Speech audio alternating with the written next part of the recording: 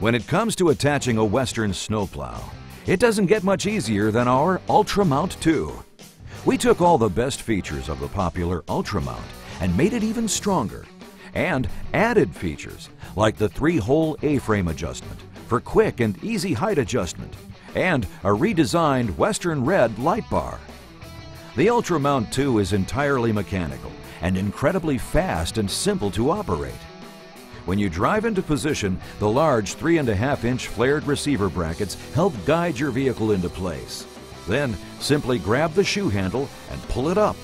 The spring loaded shoe automatically pops up. Now pull the lock pin and rotate the handle up. Repeat on the other side. Plug in the electrical connections and that's it. Simple. We've combined the stand and the connecting hook into one smooth rotating device.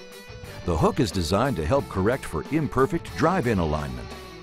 Detaching is just as easy. Unplug the electrical connections, pull the lock pin, and rotate the handle down. And push the shoe down. Repeat on the other side, and you're done. But we didn't stop there. Much like large municipal plows, the Ultramount 2 incorporates a rotating pivot bar. The pivot bar offers two significant benefits you'll appreciate. One of the biggest challenges can be attaching the plow blade when it's sitting on uneven terrain. The Ultramount 2's pivot bar allows the attaching points to remain level, even if the plow blade is not, so you always get accurate drive-in alignment, saving you time and frustration. The pivot bar also allows the blade to pivot during plowing to hug uneven ground for a cleaner scrape and more even wear of the cutting edge. Western's Ultramount 2 also features a chain lift system for high stacking and clean scraping.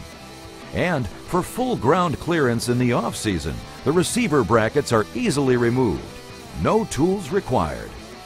Western's Ultramount 2 with built-in pivot bar and simple fast attachment it's easy to see why the Ultramount 2 is the best on-off system in the business. Western. More jobs done faster.